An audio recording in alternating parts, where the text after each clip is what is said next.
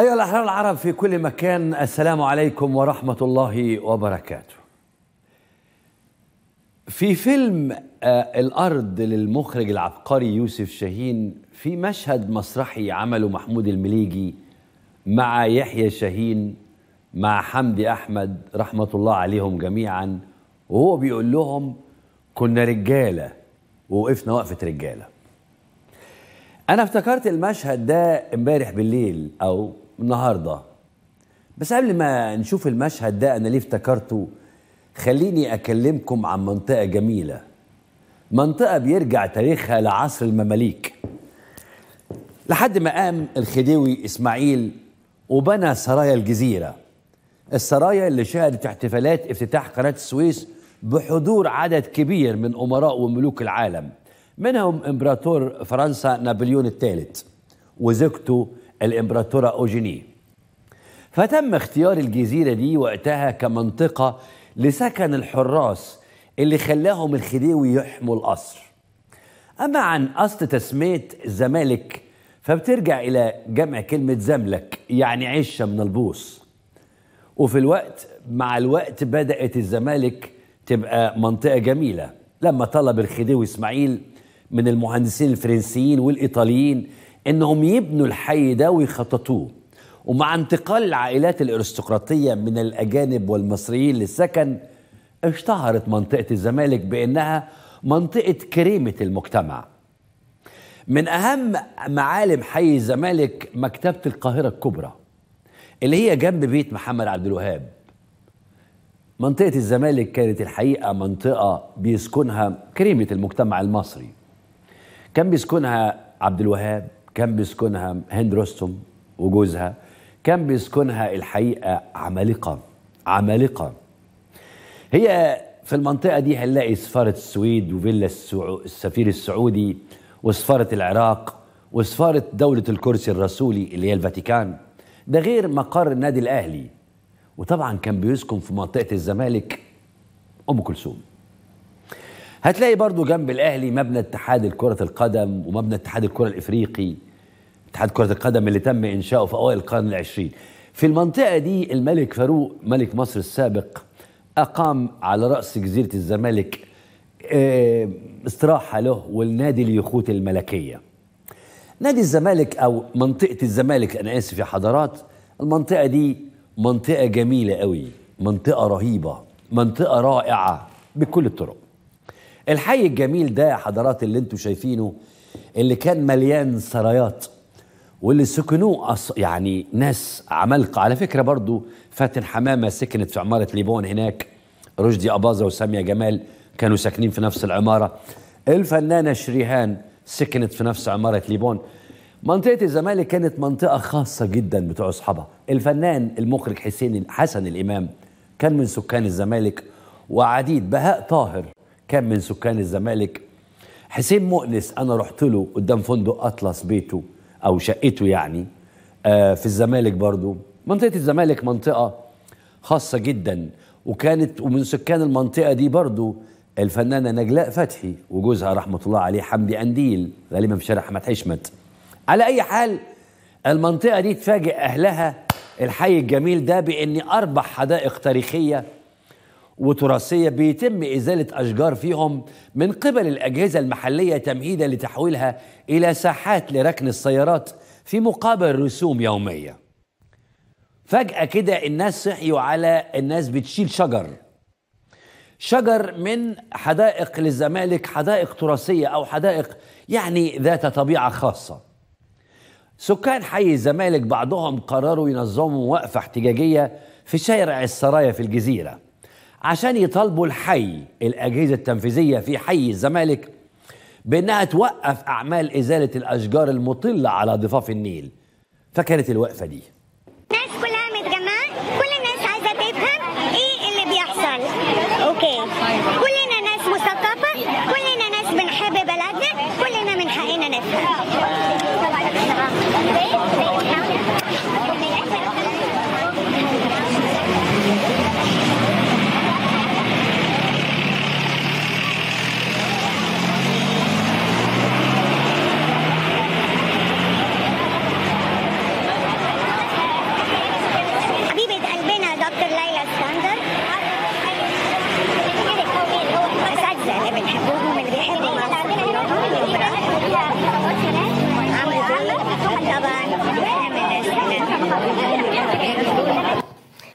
منطقة الزمالك اللي فيها نادي الجزيرة ونادي الفروسية الناس اتفاجئوا بأن الحدائق دي بتتشال.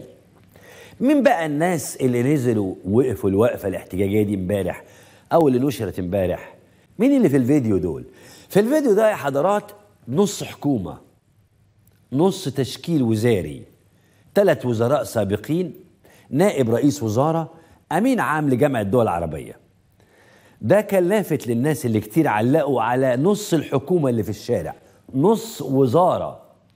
خلينا نشوف البوست ده من الوقفة الاحتجاجية. أهو الصور من الوقفة الاحتجاجية لسكان الزمالك سكان شارع سرايا الجزيرة في الزمالك على رأسهم عمرو موسى منير فخري عبد النور نبيل فهمي ليلى اسكندر.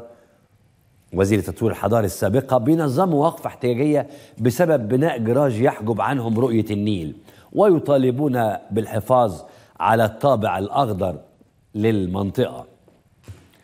نص حكومة بالظبط عارف ليه بقول لك نص حكومة؟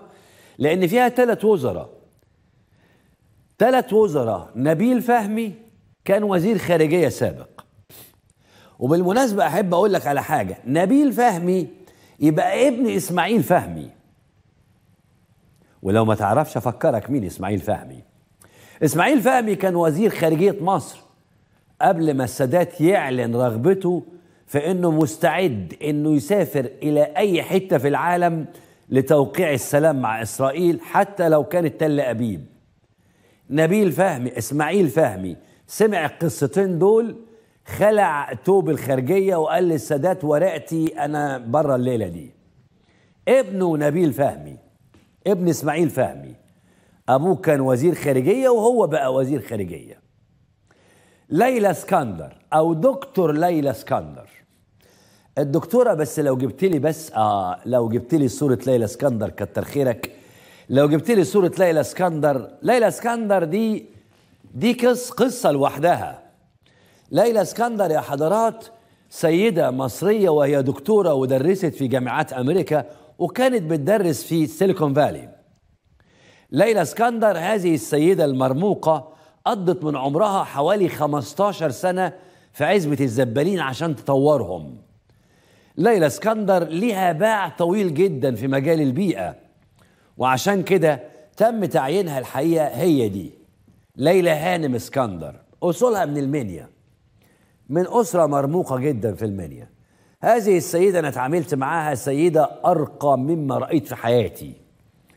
سيدة محترمة جدا وزي ما قلت لك رغم إنها درست أو بتدرس في أمريكا إلا إنها خصصت 15 سنة من عمرها في حي الزبالين عشان تطور الناس اللي هناك.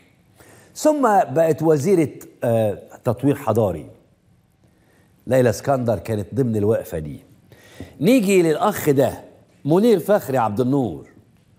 ده كان وزير في حكومة بعد كده بعد انقلاب 30 سونيا والراجل ده سليل أسرة عريقة أسرة مصرية عريقة جدا ومناسب أسر قبطية غالبا يمكن يكونوا مناسبين بطرس غالي أو حاجة كده. لكن الراجل ده كان وزير.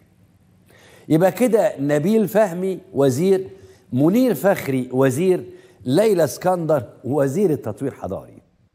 يتبقى عندنا ده زياد بهاء الدين.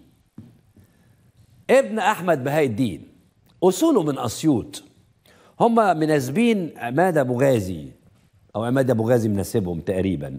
يعني في علاقة من الاثنين عماد أبو غازي اللي كان وزير ثقافة بعد ثورة يناير.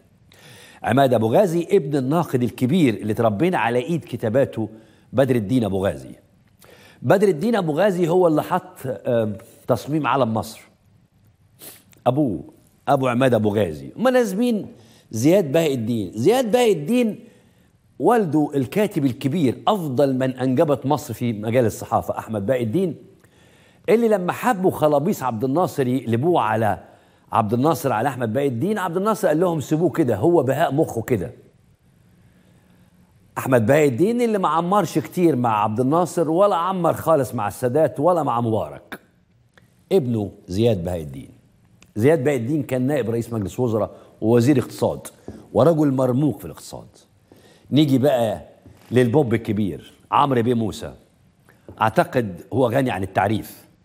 عمرو موسى وزير خارجية مصر أو أطول وزير في خارجية مصر. عمرو موسى اللي اتولد في المنيل من أصول خارج القاهرة ثم التحق بكلية الحقوق على فكرة هو دفعة الدكتور البرادعي. وبعد كده دخل حزب الوفد ثم في الخارجية وبعد كده وزير خارجية ثم لما شعبيته طغت على الس... على مبارك وغنى له شعبان عبد الرحيم بكره إسرائيل وبحب عمرو موسى تم طيرانه إلى أمين عام جامعة الدول العربية ثم مرشح رئاسي قوي ودلوقتي بيشغل منصب مهم في الفرانكفون. ده مرشح رئاسي وأمين عام جامعة الدول العربية. نص حكومة في الشارع. أنا بتكلم عن المشاهير لكن في ناس تانية أفاضل في الوقفة دي مش مش, مش مشهورين لكنهم مرموقين جدا في المجتمع المصري. مثقفين وقادة رأي وأصحاب شركات ودكاترة كبار.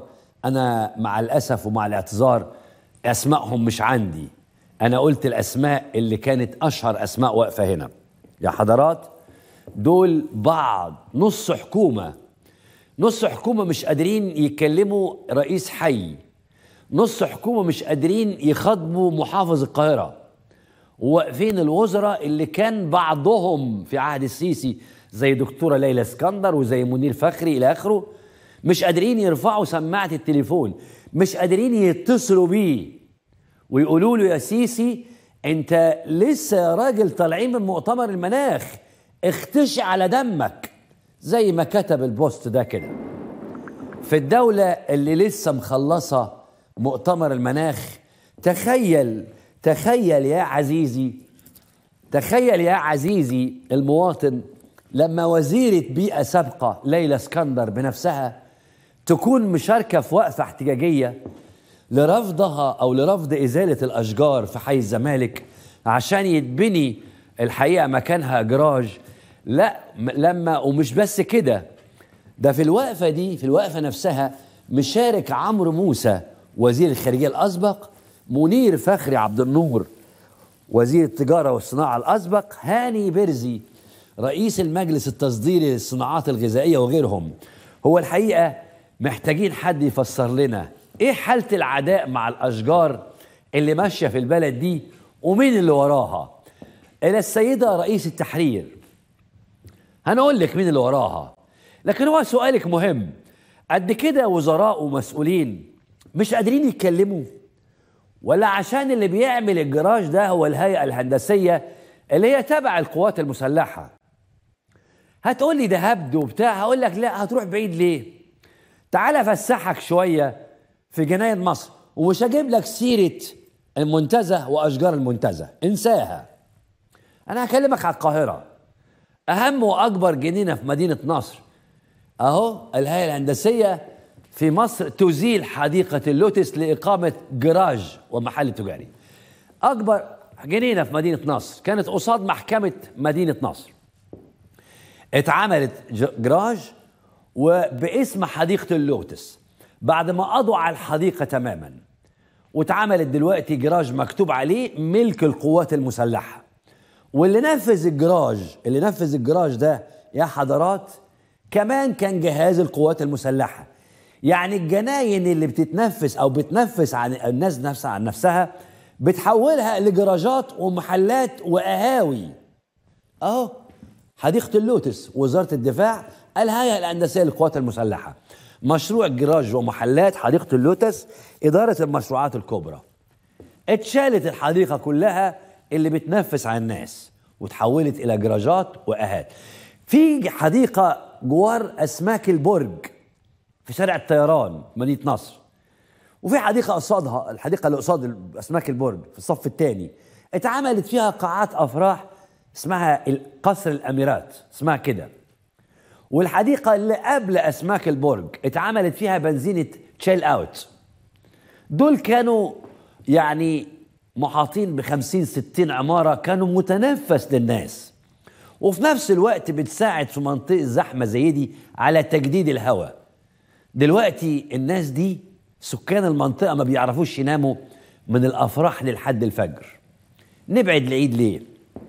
كابتن بركات كابتن إسماعيلي والنادي الأهلي ومنتخب مصر أصلا جاي من نادي السكة الحديد. النادي ده نادي البسطاء نادي الناس البسطاء. على الاوتستراد اتعمل 14 قاعة أفراح و80 محل على سور النادي. وأكبر قطعتين جوه النادي خدهم بنك مصر والبنك الأهلي. هنبعد بعيد ليه؟ خلينا في مدينة نصر. الحديقة الدولية في عباس العقاد اللي كلنا انبسطنا منها زمان. أنا شخصيا كنت بصور فيها حلقات لقناة النيل المنوعات. الحديقة دي اتعمل فيها نفس الشيء مبنى إداري دورين وخدها وخلاص وشالوا شجر. السيسي يا حضرات بياخد أجمل حدائق في مصر يدمرها. وكأن بيقول كأنه بيقول حد عاجبه حاجة حد ليه شوق في حاجة. ده حتى حط عينه على حديقة الحيوانات اللي من 1800 بينمر عليها عشان ياخدها برضه. بيسألكم في آخر مؤتمر ليه حد عاجبه جنينة الحيوانات؟ يا أخي هو حد عاجبه مصر الأول عشان نشوف حديقة الحيوانات. وبرضه حديقة الطفل اللي في مكرم عبيد اللي كانت ضمن أجمل الحدائق في مدينة نصر. فتحوا جوه مزارع دينا تعمل فطير مشلتت وبقى الجيش مشغلها بمزاجه وكل شهر يقعدوا يوزعوا الإيرادات على بعضهم. جناين مصر يا حضرات بقت مرتع لقادة القوات المسلحة. أي حتة خضرة فاضية هد يا معلم اقطع الشجر نبنيها وناخد الريع اللي جاي منها. اللي حصل في حي الزمالك نسخة مكررة من طمع وقهر بيحصل في المصريين طال الجميع صغير وكبير. وزير زي ما أنتم شفتوه أو ست وزراء وغفير.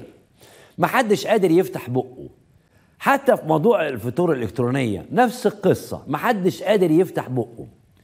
اختفوا الفنانين اللي اقتحموا وزارة الثقافة في واحد شارع شجرة الدر في الزمالك برضو. حاجة عجيبة قوي. في 2013 حي الزمالك ده نفسه شهد أكبر احتفالية وتظاهرة شارك فيها كل المثقفين والفنانين. امبارح هيطبق على الفنانين الفاتورة الإلكترونية. لقينا نقيب الفنانين طالع يقول لك وماله ندفع يا بيه. بس حد يفهمنا. اسمع كده. كل الاحترام والتقدير طبعا لوزارة المالية ومصلحه الضرائب. ولكن موضوع الفاتورة الإلكترونية أنا بأناشدهم وبرجوهم بل بأناشد فخامة الرئيس بإرجاء العمل بالفاتورة الإلكترونية اللي إحنا مش فاهمين منها حاجة. يا جماعة فهمونا اقعدوا معانا اشرحوا لنا.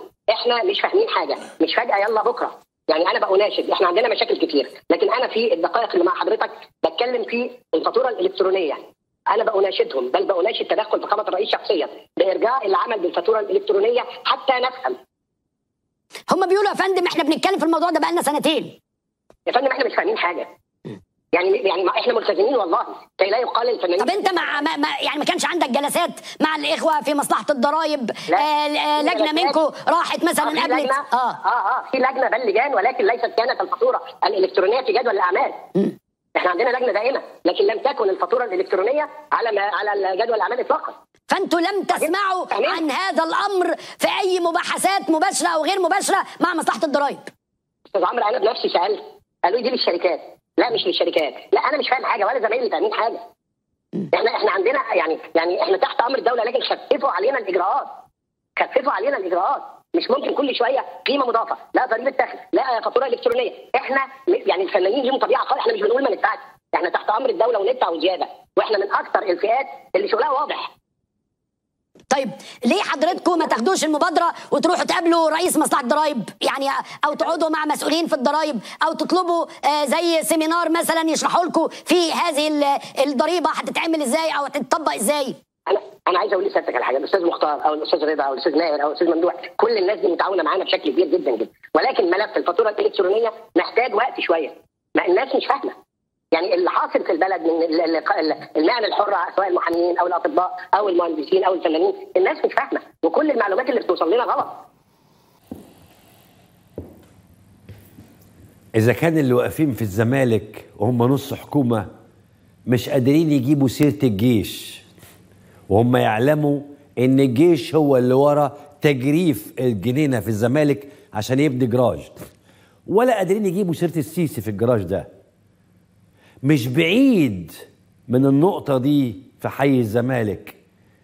وتحديدا في واحد شارع شجرة الدر برضه في الزمالك في 2013 كان في كتيبة من المثقفين والفنانين بيقتحموا مقر وزارة الثقافة. مش واقفين يعترضوا على رئيس الحي زي دلوقتي. ولا آه، آه، مش عارفين يكلموا محافظ.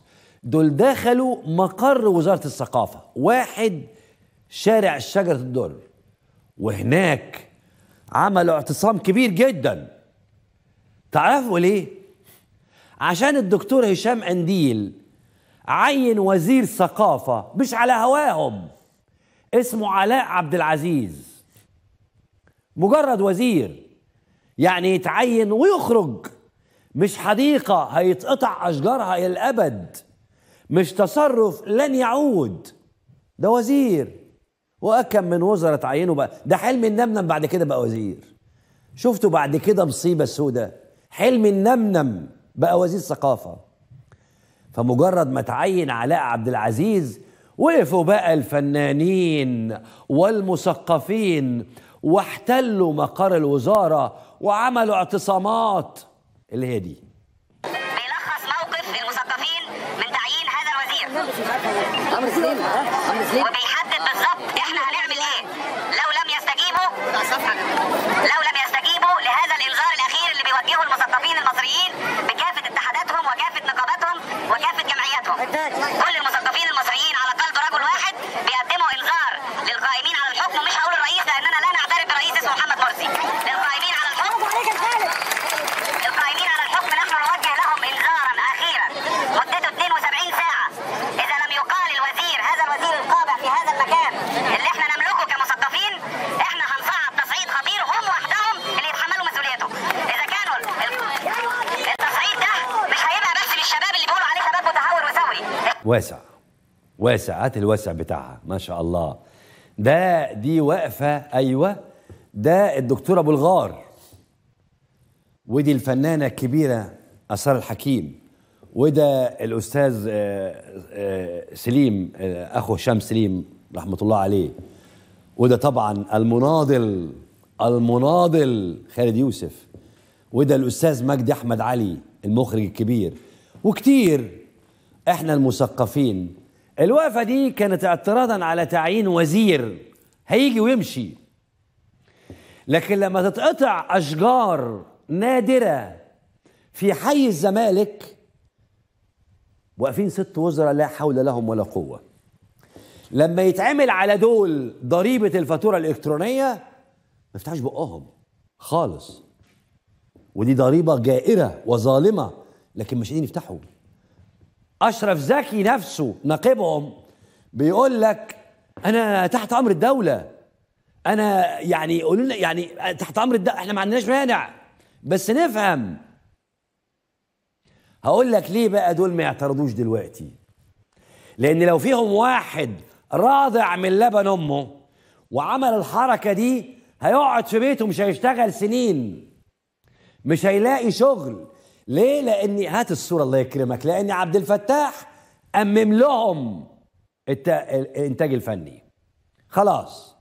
البيه المناضل ده خلاص اتأممت. النهارده بيبوس الأيادي والرجلين عشان سره الباتع المسلسل اللي عايز يعمله. وكي كلام إنه اتأجل وما يقدرش يفتح بقه ما يقدرش يتكلم. إحنا مش عند كامل أبو علي. إحنا مش عند الشركة العربية اسعاد يونس. إحنا مش عند شركة الماسه انت عند جهاز المخابرات يا حبيبي. هتفتح بقك وتقف الوقفة دي اللي هنلمح طيفه واقف الوقفة دي هنقعده في بيته مش هيشتغل. مش هيشتغل بعد ما تأممت الشركة أو أمتها الشركة المتحدة شغل الممثلين كله. بالظبط زي ما أممت الهيئة الهندسية للمشروعات حدائق مصر. عايز دليل؟ شوف فنان اسمه حمدي حفني طالع بيشتكي من قلة الشغل. وبسبب كده قعد عياله من المدارس عشان مش لاقي يجيب لهم سندوتشات. بيقول كل زمايله بيشتغلوا بقوايم بيتم إرسالها. اسمع كده اسمعوا بيقول إيه؟ أنا حمدي حفني وبشتغل ممثل. وعضو عامل في نقابه المهن التمثيلية شعبة إدارة مسرحية عمال ابعت في رسائل للسيد النقيب. يا دكتور الدنيا بايظة وعايزين نشتغل ومفيش حاجة. وبتاع طب حاضر حاضر. طب يا دكتور الحياة بقت صعبة. ومفيش. حاضر حاضر. كان زمان في مقولة بيتشدقوا بيها بيقول لك السوق عرض وطلب. لما كان السوق عرض وطلب كان الموهوبين اللي زيي وزي غير اللي قاعدين في البيوت بيشتغلوا. دلوقتي السوق مبقاش عرض وطلب. السوق بقى كشف بيروح لشركات الإنتاج. كل شركات الإنتاج في أسماء من خلال الدكتور أشرف زكي دول يشتغلوا. وصل قلت له يا دكتور أنا وصلت إن أنا اولادي في ابتدائي وفي مدرسة حكومية. مقعدهم بالمدرسة عشان معيش أجيب لهم سندوتشات فينو وجبنة. مفيش فلوس. لما واحد بيقول لك ده يبقى الثلاجه شكلها إيه؟ ده لو بحكي ده لحد يهودي يهودي هيتحرك معايا انسانيا. ولا حياة لمن تنادي. يا راجل العيال مش لاقي لهم سندوتشات. يا راجل في إيه؟ يا اخوانا في إيه ده لو ناس يهود عليا النعمه لو بنيامين نتنياهو كان اتحرك معايا انسانيا اليهودي. ده واحد من الفنانين لأنه مش على الحجر. على فكرة في زيه كتير بالمناسبة. وعلى فكرة من كام يوم لما جت سيرة فنانة هنا قلت لكم دي مش من الناس اللي بتشتغل طول الوقت. رغم إن الإنتاج الفني ما شاء الله بنعمل بالخمسين مسلسل في رمضان ويمكن أكتر من خمسين. بنصرف مليارات على مسلسلات. بس مسلسلات بتاعت إيه؟ بتاعت ياسر جلال وأحمد مكي. مسلسلات تمجد في السيسي وفي الطغيان. مسلسلات بتقوم عليها الشركة المتحدة. اللي يعجبه يشتغل واللي ما تعجبوش ما يشتغلش. السيسي يهد فيلم كامل اسمه ساعة الصفر تقريبا بتاع أحمد السقا وأحمد رزق ويتبنى مسلسل كامل اسمه الإختيار وينقي الممثلين اللي بيشتغلوا فيه لدرجة ينقي الممثلة نادية رشاد تعمل دور أمه ويتدخل في السيناريو والسكريبت والمونتاج وبدل ما يجيب أحمد السقا يعمل دوره يجيب ياسر جلال طول بعرض بارتفاع ويقنع الناس ويحقق له عقدة النقص اللي هو أصلا مش شايفها. مين اللي هيدفع الفاتورة الإلكترونية؟ مين اللي هيقدر يعترض؟ فرق كبير جدا بين المشهدين. بين واحد شجرة الدر 2013 والجزيرة سرايا الجزيرة 2022 بين التظاهر في شارع شجرة الدر في الزمالك واحتلال مبنى حكومي من قبل مثقفين. وبين نص حكومة نص حكومة كاملة واقفة في الشارع بتعترض على إزالة أشجار. بين فنانين معترضين على وزير ثقافة يجي ويمشي. وبين فنانين النهارده يطبق عليهم الفاتورة الإلكترونية مدى الحياة. ضريبة جديدة جباية جديدة. مش عارفين يفتحوا بقهم. نقيبهم بيقول لك إحنا تحت الأمر. بس نفهم إيه اللي حصل؟ وإيه اللي اتغير؟ أشرف زكي بيقول لك إحنا تحت الأمر. أشرف زكي بيفكرني بالنكتة بتاعت زمان لما حطوا الناس على الكباري يضربوا المواطنين على قفاهم. ووقفوا الجميع في طوابير طويلة كل واحد ياخد قفا وينزل. فقام واحد اعترض وغضب وراح اشتكى.